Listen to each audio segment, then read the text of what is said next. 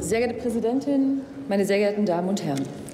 Leider ist diese Debatte mit wenigen Ausnahmen an Redner zum wiederholten Male ein eindrückliches Beispiel dafür, warum Bürger dieses Landes immer wieder den Eindruck haben, dass sich ihre Lebenswirklichkeit in diesem Hause nur unzureichend widerspiegelt.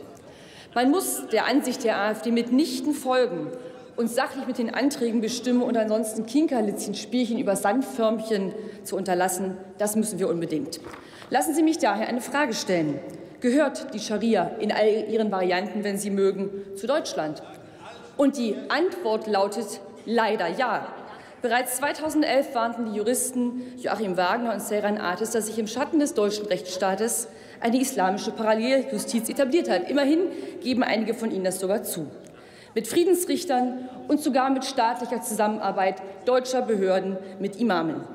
Der Rechtsstaat hat sein Gewaltmonopol nicht nur in Stadtgebieten wie Neukölln, sondern heimlich still und leise an vielen Orten unseres Landes abgegeben und vor der Scharia, egal in welcher Variante, kapituliert.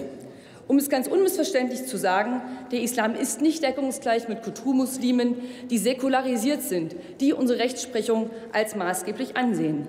Aber wenn wir vor der Scharia einknicken, und da ist es egal, ob es ein Drittel sind oder 40 Prozent, da ist jeder einer zu viel, dann verraten wir gerade jene Menschen, die sich von dieser religiösen Bevormundung befreit haben und erweisen genau diesen aufgeklärten Menschen einen Bärendienst. Und ja, Fragen Sie doch die Experten, die Religionswissenschaftler. Die Utopie des Euro oder deutschen Islam ist längst bewiesen, ist längst diskutiert. Ihn gibt es nicht und wird ihn auf absehbare Zeit nicht geben. Selbst der Vordenker des Euro-Islams, Bassam Tibi, sieht diese Idee als gescheitert an.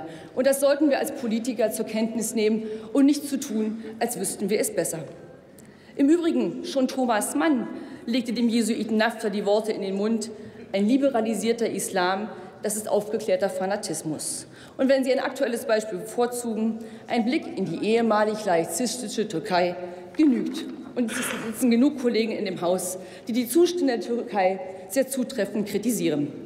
Daraus folgt, dass es ebenso verkehrt ist, alle Muslime über einen Kamm zu scheren, als auch den Islam und seine blutige Vergangenheit sowie Gegenwart zu verharmlosen und somit maßgeblich durch Wegschauen zum deutschen Antisemitismusproblem beizutragen.